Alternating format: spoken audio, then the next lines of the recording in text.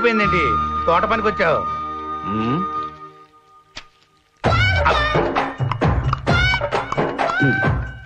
ఆ తిండేంట్రా? డిస్కవరీ ఛానల్లో అదేంటది? పంది. ఆ, చింపాంజీ చింపాంజీ. కరెక్ట్. నీ గురించి నీకే బాగా తెలుసురా. అబ్బో డిస్కవరీ ఛానల్ చూసేంత టైం కూడా ఉందేంటి? అంట్లు పని వంట పనితో సరిపోదు కదా అని. నిజమేరా. మీ అక్కని చేసుకోకుండా ఉంటే బోల్డ్ అంత టైం ఉండేది. పెళ్ళి కాకముందు ఎంత హాయిగా ఉండేవాణ్ణి. అసలు తప్పు నాదిరా. బాగా చదువుకుని ఈ ఇంటి పని వంట పని చేయడం ఎందుకని ఉద్యోగానికి పంపించానే మొత్తం లైఫ్ స్టైలే మార్చేసింది. లైఫ్ స్టైల్ గురించి నువ్వు మాట్లాడద్దు. ఏ? తమని పెళ్ళి చేసుకోకపోతే మా అక్క లైఫ్ స్టైలే వేరే విధంగా ఉండేది. ఏ విధంగా? అసలు నీ సంబంధానికి ముందు మా అక్కకి ఎన్ని మంచి సంబంధాలు వచ్చాయి తెలుసా నీకు? తెలవదు. ఆ పైలట్ చేసుకుంటే విమానంలో ఎంచక్క విహరించేది. పోనీ ఆ కెప్టెన్ పెళ్ళి చేసుకుంటే షిప్ మీద టైటానిక్ సినిమా హీరోయిన్ లాగా ఎంచక్క ప్రపంచం మొత్తం తిరిగేది. పైలట్. ఆ, కెప్టెన్. ఆ. ఇద్దరు చేసేది డ్రైవింగ్ ఆ? మీ అక్కకు కావాల్సిన మొగుడు కాదురా డ్రైవర్. నీలాంటి పనులు చేసేవాళ్ళకంటే నువ్వు చెప్పినట్టు ఆ డ్రైవర్లే బెటర్ కదా.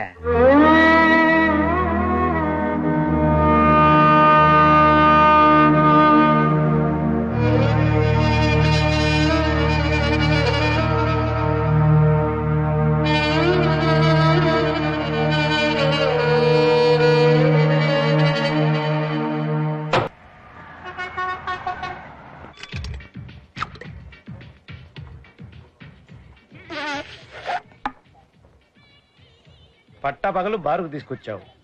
పెగుల మీద పెగ్గులు పటాపటా లాగిస్తున్నావు. ఏమిటో నీ ప్రాబ్లం? బాధ. బాధ? ఎందుకురా? ఉద్యోగం లేని మగాడంటే ఇంట్లో.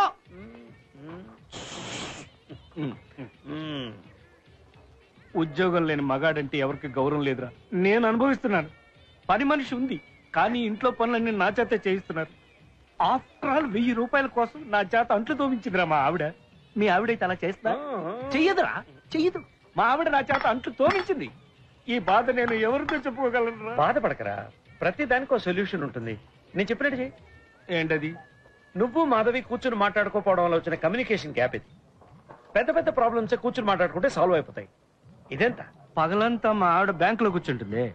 పోనీ సాయంకాలం మాట్లాడు. అయ్యో సాయంత్రం మా ఆవిడ టీవీ ముందు కూర్చుంటుంది. పోనీ ఓ పని చేయరా. అర్ధరాత్రి నిద్ర లేపి ఒళ్ళో కూర్చోబెట్టుకుని మాట్లాడు. ఒళ్ళో కూర్చోబెట్టుకున్నా. ఎప్పుడో ఫస్ట్ నైట్ రోజు ఒళ్ళో కూర్చోబెట్టుకున్నట్టు గుర్తు. ఇప్పుడు కూర్చోబెట్టుకోలేను రా బాగా బరువెక్కింది. రేయ్ నేను సీరియస్గా మాట్లాడుతాను నువ్వు జోక్ చేస్తున్నావు. ఎందుకు అరుస్తున్నావు? అందరూ చూస్తున్నారు. ఫీల్ అవ్వకలే. అందుకే మందు చూపు ఉండాలండి. ఇప్పుడు నీకేం కావాలి? నేను తను కూర్చుని మాట్లాడుకోవాలి. అంతే కదా? ఓకేరా ఓకే. కొట్టు? పెద్ద పెద్ద ప్రాబ్లమ్స్ కూర్చుని మాట్లాడుకుంటే సాల్వ్ అయిపోతాయి. కూర్చుని. ఓకే. మాధవి మాటలోనే వచ్చింది.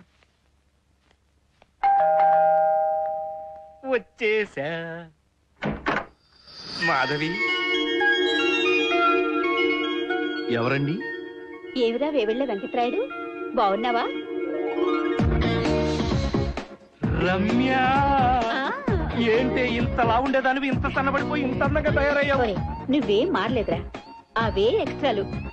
కదా రా రా రా రా రా రా రా రా రా రా రా రా రా రా. కూర్చో కూర్చో అవును నువ్వు అమెరికాలో ఉన్నావు కదూ అవును ట్విన్స్ని పెళ్ళి చేసుకున్నావు అవును అవును ఇద్దరు మేనేజ్ చేయడం కష్టం కదూ రే ట్విన్స్లో ఒక్కనే చేసుకున్నానురా మరి పిల్లలు ట్విన్స్ చూసావా వాళ్ళంతా బాగున్నారా అందరూ బానే ఉన్నారు Very good. సరే గాని నీ ఫ్యామిలీ సంగతి చెప్పరా ఆ నాకు ఒక పెళ్ళం Hmm. ముగ్గురు ఆడపిల్లలు అవునా. వాళ్ళెక్కడరా వాళ్ళంతా బ్రహ్మాండంగా ఉన్నారు అలాగా అవును ఎప్పుడొచ్చావు నేను వన్ వీక్ అయింది ఇక్కడికి వచ్చి. ఇంకో వన్ వీక్ ఇక్కడే ఉంటాను. Very good. అవునరా? మన మూర్తిగాడు ఇక్కడే ఉంటున్నాడంటగా? అవును. వాడు చెట్టు కింద ప్లేడర్ తెలుసా? ఆ. కేసులే లేక ఏడుస్తుంటే ఆ. నేనే కేసు ఇచ్చి మొన్నే కోర్టుకు పంపించాను. అవునా? ఆ. సరే గాని వాడు ఇప్పుడు కూడా కోర్టుకి లేకుండానే వెళ్ళిపోతున్నాడా? అండర్వేరా? ఆ అదేరా. మన కాలేజీ రన్నింగ్ కాంపిటీషన్లో ప్యాంట్ ఉడిపోతే ఓ పరిగెత్తుకుంటూ వెళ్ళిపోయాడుగా. జనాలందరూ చప్పట్లు కొడుతుంటే అదే ఎంకరేజ్మెంట్ అనుకున్నాడు.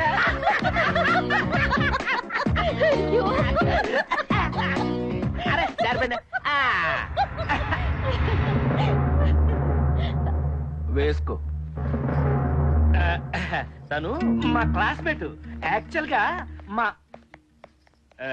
ఆఫీస్ నుంచి వస్తుంది కదా అందుకని టెన్షన్లో ఉందన్నమాట. నువ్వేమనుకోకే ఆఫీస్ టెన్షన్ కాదురా బయట టెన్షన్. చూసింది కదా ఏ పెళ్ళమైనా అలాగే ఫీల్ అవుతుంది. సరే గాని నువ్వు రూమ్లోకి తీసుకెళ్ళి కూర్చేయి ఈలోగా మూర్తి గారిని కలిసి వస్తాను ఓకే బాయ్.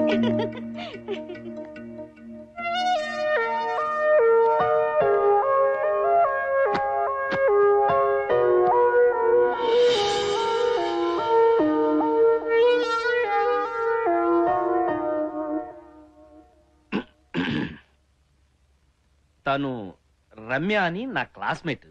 నేను అడిగానా? యాక్చువల్లీ నీకు పరిచయం చేద్దాం అనుకున్నాను కానీ నువ్వే అలాంటి పరిచయం నాకు అక్కర్లేదు తప్పుగా అనుకోకు బయట జారితే అప్పుడు టీవీలో చూశాను ఇప్పుడు లైవ్లో చూశాను. చూసాం సరే అసలు ఏం జరిగిందో చెప్పాలి కదా. వినాల్సిన అవసరం నాకు లేదు. వినకపోతే ఏం జరిగిందో ఎలా తెలుస్తుంది? తెలుసుకోవాల్సిన అవసరం నాకు లేదు.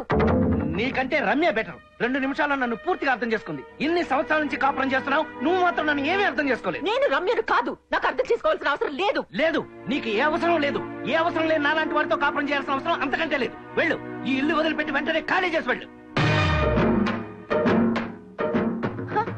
ఏంటి? నేను ఇల్లు వదిలి వెళ్ళాలా? తప్పుకోండి. నా ఇల్లు నా పేరు మీద ఉంది. కావాలంటే బీరువాల డాక్యుమెంట్ ఉంది చూసుకోండి. ఇది నేను కట్టుకునే ఇల్లు.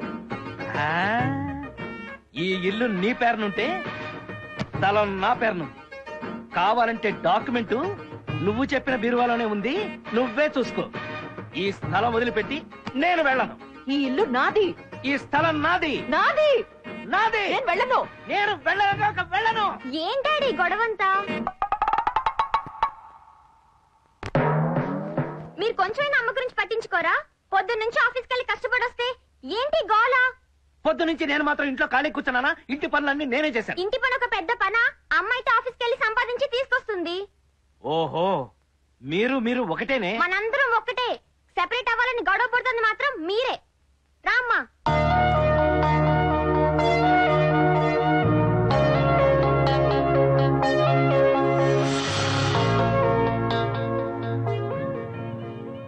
ఇప్పుడు నాకు ఒక విషయం అర్థమైందిరా. ఏమర్థమైంది?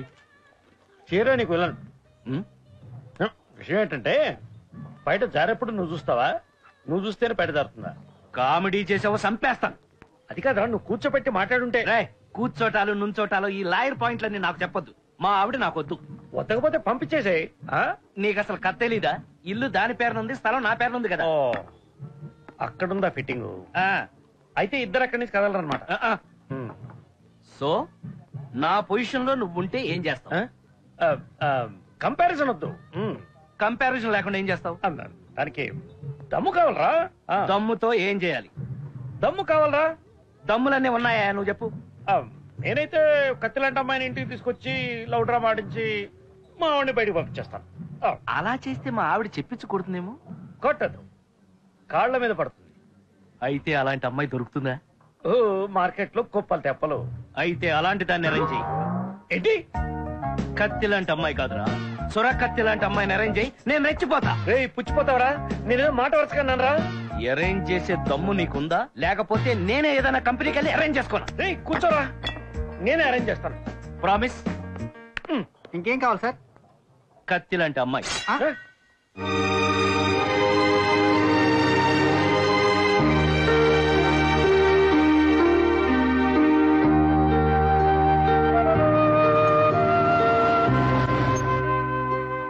సారీ డార్లింగ్ లేట్ అయింది. తమరు ఎప్పుడు టైంకి వచ్చారో? ప్రపంచంలో ఏ ప్రేమికుడు కూడా టైంకి వచ్చినట్టు చరిత్రలో లేదు. సెట్ అయ్యరా? అది సరే గాని నువ్వేంటి డల్గా ఉన్నావు? మళ్ళీ మీ మమ్మీ డాడీ పోటాడుకున్నారా అవును వివేక్ ఎంతసేపు వాళ్ళ గొడవలే గాని మా గురించి పట్టించుకోవట్లేదు. చూడు చాలా చోట్ల ఇవన్నీ చాలా మామూలే. వాళ్ళే కొట్టుకుంటారు వాళ్ళే కలుస్తారు. అవన్నీ మనం పట్టించుకోకూడదు. నువ్వు ఫస్ట్ పద ముందు బైక్ ఎక్కు. దా నువ్వు దా. ఫస్ట్ సినిమాకి వెళ్దాంరా. ఓకే